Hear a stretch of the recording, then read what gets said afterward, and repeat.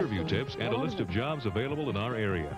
Channel 3 believes in giving you an edge in this tough economy. Watch Kim Breton at the Jobs Desk, weeknights only on Channel 3 News. Live coverage of the Revco Cleveland bike races Saturday at noon.